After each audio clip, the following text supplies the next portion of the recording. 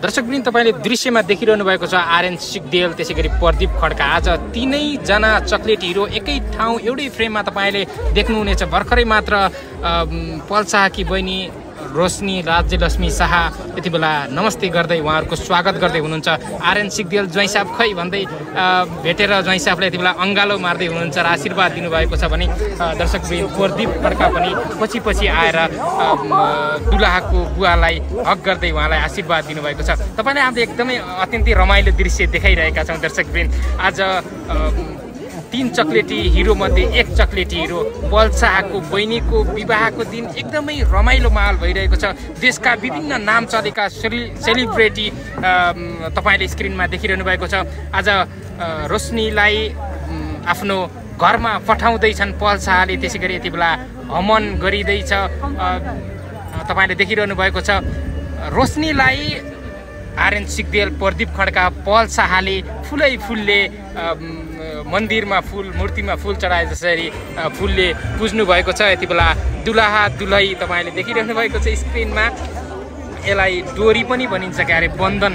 आज विवाह बन्धनमा बाँधिने बाँधिने दुई मुटु एक हुने दिन आज उहाँहरू सँगसँगै डोरी समातेर यो हब यो तिन यो चाहिँ विवाह मण्डप घुम्दै हुनुहुन्छ र उताबाट तिन चक्लेटी हिरोले यो कुरा निहालिरहनु भएको छ। र एक आपसमा कुरा गर्दै हुनुहुन्छ पल्सा पनि अविवाहित हुनुहुन्छ।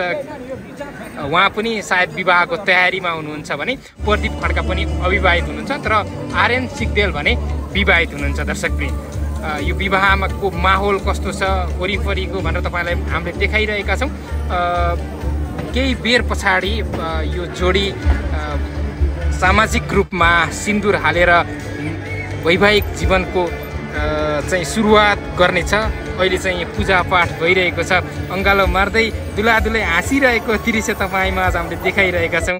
यो दृश्य अत्यन्तै यो नेपालमा विवाह जन्म र यस्ता कुराहरूलाई अत्यन्तै चाख चासो दिएर हेरिन्छ र यहाँ पनि तपाईँलाई हामीले अझ देशकै एउटा नामुद नाम चलेको सेलिब्रेटी पहल शाहको आफ्नै बहिनी उहाँ पनि आफैमा सेलिब्रेटी हो रोशनी राज- राज्यलक्ष्मी शाह जसले रोडिजमा गएर ती क्रियाकलापहरू गरिरहँदा तपाईँहरूले धेरैले मन पार्नु भएको थियो र अहिले चाहिँ नेपालगञ्जमा विवाह भएको छ रोशनीको र उहाँहरू यसरी मुस्काउँदै फोटो सेसनमा व्यस्त हुनुहुन्छ अहिले। तपाईँलाई हामीले दृश्यमा देखाइरहेका छौँ।